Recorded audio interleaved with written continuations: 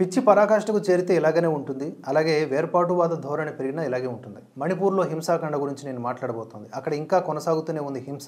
మే ఇరవై మూడు రెండు వేల ఇరవై మూడు బుధవారం నాడు బిష్ణుపూర్లోని ఆ రాష్ట్ర మంత్రి కొంతోజోమ్ గోవిందాస్ ఇంటిపై కుకీ నాగా జాతికి సంబంధించిన ప్రజలు దాడి చేశారట. ఈ సందర్భంగా చెలరేగిన ఘర్షణల్లో ఒకరు చనిపోయారు కూడా. మరో ఇద్దరు తీవ్రంగా గాయపడ్డారు. దుండగులు మూడు ఇళ్ళను తగలబెట్టేశారు. మొయిరాంగ్ సమీపంలోని పలు గ్రామాలపై ఇదే తెగకు చెందిన సాయుధ యువకులు గడిచిన బుధవారం తెల్లవారుజామున దాడులకు తెగబడ్డారు. మైతీ తరగతి ప్రజలను లక్ష్యంగా చేసుకుని తుపాకీలతో కాల్పులు జరిపినట్లుగా సంబంధిత అధికారులు తెలిపారు. కాల్పుల్లో గాయపడిన ఇద్దరిని హాస్పిటల్కు తరలిస్తుండగా మార్గమధ్యంలో ఒకరు చనిపోయారు. ఇక బుధవారం నాటి ఘర్షణల నేపథ్యంలో బిష్ణుపూర్ ఇంఫాల్ తూర్పు అలాగే ఇంఫాల్ పశ్చిమ జిల్లాల్లో కర్ఫ్యూ ఆంక్షలను పునరుద్ధరించారు. ముందు రోజు అంటే మంగళవారం ఇదే జిల్లాలోని ఫాబక్చావో వద్ద నాలుగు ఇళ్ళను దగ్ధం చేయగా ఆ ఘటనకు ప్రతీకారంగానే నిన్నటి గొడవలు జరిగినట్లుగా పేర్కొంటున్నారు.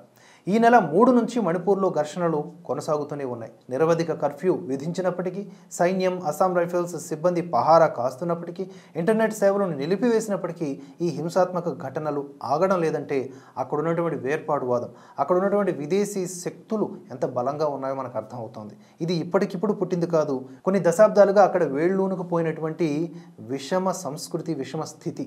ఈ నేపథ్యంలోనే ఆ రాష్ట్రంలో నిత్యావసరాల ధరలకు కూడా రెక్కలొచ్చాయి. అల్లర్ల వల్ల ఇతర రాష్ట్రాల నుంచి సరుకు రవాణా ట్రక్కులను మణిపూర్కు నడిపేందుకు డ్రైవర్లు యజమానులు ఆసక్తి చూపడం లేదు. దీనివల్ల సరఫరాకు అంతరాయం కలగడంతో పాటుగా పలు వస్తువుల ధరలు రెట్టింపయ్యాయి. అల్లర్లు చోటు చేసుకున్న ఇంఫాల్ తూర్పు పశ్చిమ లోయతో పాటుగా పలు ప్రాంతాల్లో బియ్యం బంగాళదుంప ఉల్లిగడ్డ కోడిగుడ్ల ధరలు విపరీతంగా పెరిగిపోయాయి.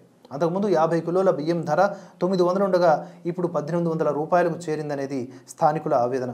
వంట గ్యాస్ సిలిండర్ల సరఫరా ఆగిపోయింది బ్లాక్ మార్కెట్ పెరిగిపోయింది. ఒక్కో సిలిండర్ ధర ఏకంగా పద్దెనిమిది వందలకు పైననే ఉండటం గమనార్హం.